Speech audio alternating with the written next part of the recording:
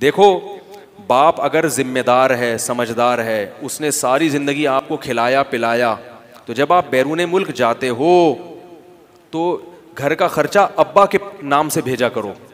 अब्बा से कहो कि, अब्बा, ये मैं पैसे भेज रहा हूँ, ये पैसे आप मेरी अम्मा पे भी खर्च करें और मेरे दीगर बहन भाइयों पे भी खर्च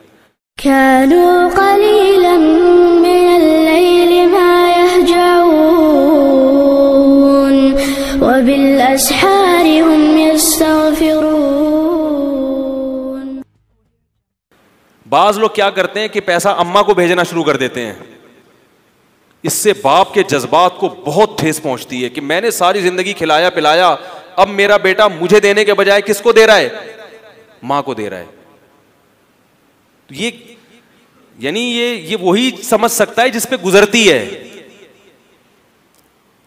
क्योंकि सरबरा का उनसर अल्लाह ने जब मर्द में रखा है ना तो मर्द चाहता है कि खर्चा किसके हाथ से हो? मेरे हाथ से सारी ज़िंदगी खिलाया। अब वो मातहत बन के खाना शुरू कर देगा तो वो फिर बहुत गुस्सा होता है उसका। क्योंकि बाप ने आप पे जितना खर्च किया है ना सारी ज़िंदगी, उसको आप कैलकुलेट कर ही नहीं सकते। माँ ने आपकी जिस्मानी खिदमत की है तो माँ को जिस्मानी खिदमत बहुत ज़्यादा दो। समझ में नहीं आ रही बात? तो लोग क्या करते हैं कि जब कहीं अच्छी अर्निंग शुरू हो गई तो वो क्या कह, अम्मा को पैसा भेजना शुरू कर देते हैं। तो जो अम्मा के पैसे हैं ना, वो भी अब्बा ही को दो। नहीं रही बात समझ। मिसाल के तौर पर आप हर महीने बीस हज़ार रुपए या चालीस हज़ार रुपए घर में खर्चा भेज रहे हैं। बीस हज़ार, एक तो तरीका ये कि चालीस हज़ार आप अम्मी के नाम से भेजें और अब्बा से कहें, अम्मी से ले लेना। अब्बा तो फिर मीटर तो अब्बा का शॉर्ट होगा। ये फितरी चीज़ है, इसका कोई लॉ नहीं है, कानून अगर आप दलाइल की दुनिया में मैं समझाना चाहूँगा, नहीं, दलाइल में आजिज आ जाएँगे। कुछ चीज़ें ऐसी होती हैं जो दलाइल से समझ में नहीं आती। वो इंसान की नेचर है, फितरत है। आप किसी को उसकी नेचर के खिलाफ चलाएँगे, वो नहीं चलेगा। मसला खराब होगा यहाँ से।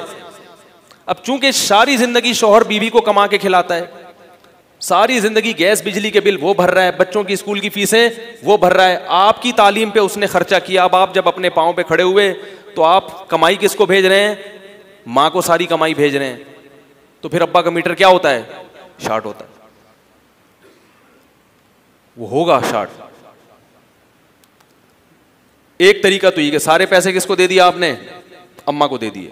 दूसरा तरीका ये कि आधे पैसे अम्मा को दिए, आधे पैसे अब्बा को दिए ये भी मेरी नज़र में ठीक नहीं है।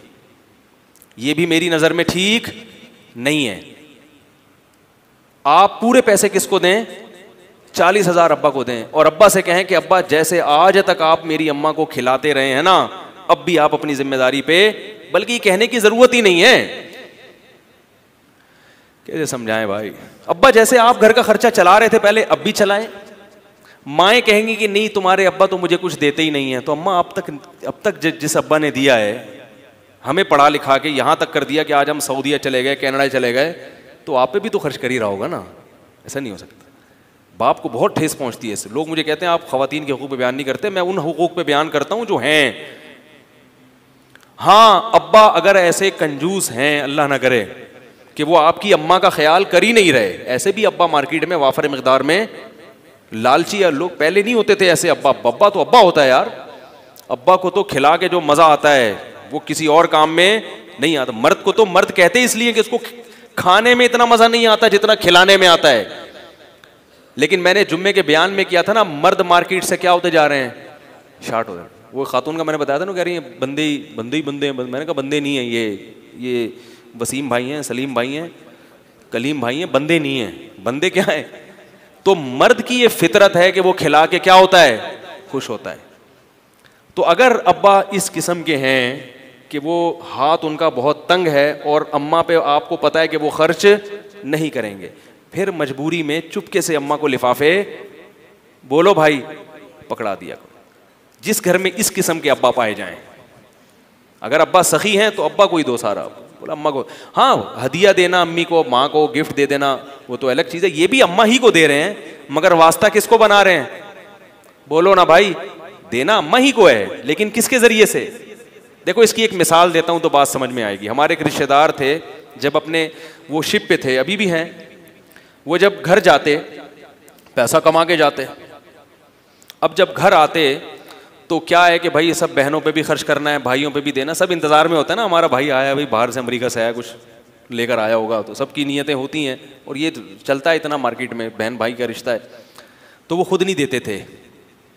वो अपने अब्बा को कहते थे, ये पैसे आप मेरे बहन भाइयों में बांट दें, ताकि नाम किसका ऊँचा रहे? बाप का नाम। लगे ये कि बाप दे रहा है, भाई नहीं दे रहा। जब तक बाप ज़िंदा है तो मैं, मेरी क्या औकात है भाई?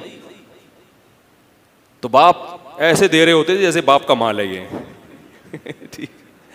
ऐसे दे रहे होते जैसे, हालाँकि अब्बा तो बेरोजगार थे, कुछ भी नहीं करते थे। लेकिन वो अपने बाप को इज़्ज़त दे रहे हैं कि यार मैं जो यहाँ तक पहुँचा, ये किसकी, किसने खर्च किया है? किसने ठिकाना दिया? ये बाप ने ठिकाना दिया। तो अब मेरे बहन भाइयों पे भी खर्च होगा तो नाम किसका इस्तेमाल होगा? बाप का। रहा ये मसला कि भाई मेरा तो नाम नहीं आ रहा, क्या करना है नाम का यार? बाप को अभी इज़्ज़त दे दो, जब तक घर में बाप मौजूद है तो बाप बनने की कोशिश क्यों कर रहे हो? घर में दो बाप अच्छे लगते हैं। एक घर में जैसे दो सरबरा अच्छे नहीं लगते, जो वज़ीर आज़म एक एक गवर्नमेंट में, एक हुकूमत में दो सदर अच्छे नहीं लगते, चीफ ऑफ़ आर्मी स्टाफ एक ही होता है तो बाप भी घर में एक ही होना चाहिए। समझ रहे हो कि नहीं समझ रहे? तो मुझे ही उनकी अदा बड़ी अच्छी लगती थी, और इसकी वजह से अल्लाह ने उनको नवाजा भी बहुत ज़्यादा। और बाप की दुआएँ अलग लगती हैं। अब रहा माँ का हक। तो माँ का हक हुकूक अल्लाह ने दोनों के रखे हैं, लेकिन दोनों के हुकूक का स्टाइल मुख्तलिफ़ है। दोनों का अलग है। माँ के साथ क्या करना है? मैं ये नहीं कह रहा उनको अलग से पैसे बिल्कुल ही ना दें। ज़ाहिर है माँ को भी पैसे देने चाहिए, लेकिन जो मेजर खर्चा जो आप भेज रहे हैं ना, उसकी बात कर रहा हूँ। ये नहीं कि माँ को आप पैसे देना ही छोड़ दें, या उसे कोई गिफ्ट देना ही छोड़ दें, ये तो बिल्कुल गलत है। थोड़े बहुत तो ठीक है, लेकिन एक जो बड़ी रकम है, जो घर में आप खर्चा चलाने के लिए जो अमाउंट भेज रहे हैं, वो अमाउंट किसके हाथ में आना चाहिए? बाप के हाथ में आना चाहिए, वरना उसको बहुत तकलीफ़ होती है और वो तकलीफ़ होने में हक बजाने पे हक बजाने पे हाँ। अगर अब्बा, मैं उन अब्बाओं के ज़िक्र कर रहा था जो अब्बा हैं, मगर अब्बा बन के बनने के लिए तैयार नहीं है। यानी ज़िम्मेदारी पूरी नहीं कर रहे, उनको खिलाने में मज़ा नहीं आ रहा बचा बचा के अपने, ऐसे भी अब्बा हैं ना, मर्द ऐसे भी होते हैं कि बेगम तुम भी कमाओ।